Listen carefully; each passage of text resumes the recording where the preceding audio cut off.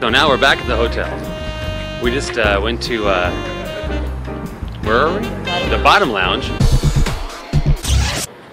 And uh, March Violet's. Uh, we took the school bus back from the venue. Everybody's on the bus! Good bus! the uh, school bus of doom. So now we're back, and we're gonna go in and uh, you know tidy up and Have some uh, food. have some food, I guess. Get ready for tomorrow, whatever. And Congress Plaza. And it's cold and It's raining. freezing. It's really fucking cold.